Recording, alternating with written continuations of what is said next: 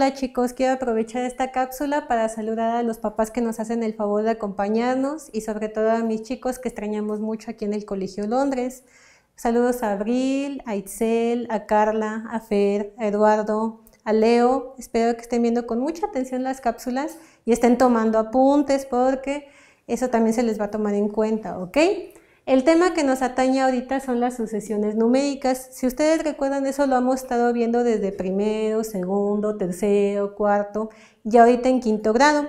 Recordamos que una sucesión son aquellos números que están ordenados de una misma manera, no al azar, sino que llevan un patrón.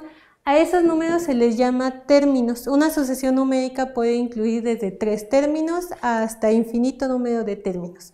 ¿Ok? La característica que tiene es que lleva una regularidad. Puede ser en forma ascendente, hay que recordar estas palabras que luego nos cuestan trabajo. Ascendente o descendente. Ascendente quiere decir que va aumentando. Puede ser a lo mejor 1, 3, 5, 7, 9, etcétera y en el descendente va disminuyendo. A lo mejor empiezo del 100, 90, 80, 70, 60, etc. ¿Ok? Hay que tener presentes estos dos términos. Para que una sucesión se establezca puede ocupar cuatro operaciones, que puede ser la suma, la resta, la multiplicación o la división. Vamos a hacer un ejemplo muy sencillo que puede ser a lo mejor mi sucesión me está pidiendo que a cada término le sume 2. Uno muy sencillo, para que no nos cueste trabajo. Y voy a empezar, el primer término que me ofrece es un 8. Si yo le tengo que ir sumando 2, sería 10, 12, 14, 16, 18, 20, y recuerda que cuando le colocamos los tres puntitos quiere decir que esa sucesión se puede extender infinitamente, que le faltan cualquier número de términos. Si ahora mi sucesión me dice, le vamos a quitar 15. Y a lo mejor mi numeración empieza en 60. Si le quito 15 me quedan 45, si le quito 15 me quedan 30, si le quito 15 me quedan 15 y le vuelvo a quitar me queda 0.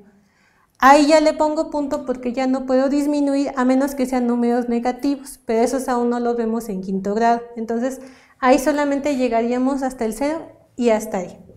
Vamos ahora a resolver un ejercicio que ya tengo aquí preparado. La sucesión me está pidiendo Aquí los elementos me están dando los términos de la sucesión. Me está preguntando en el segundo cuadro, ¿se suma o se resta?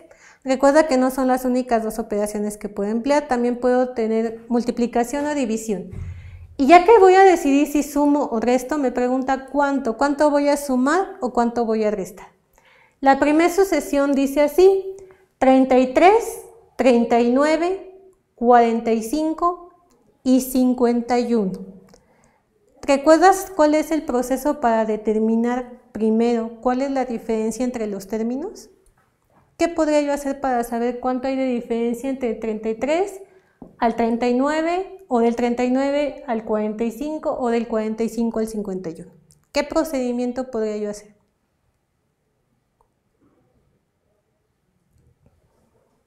Ok, vamos a ver, sería una resta. 39 menos 33 me va a dar 6.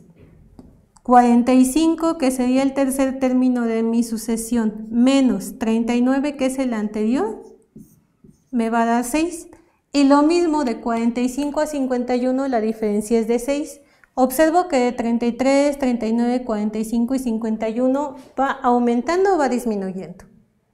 Bien, va aumentando, por lo tanto mi operación que necesito es una suma.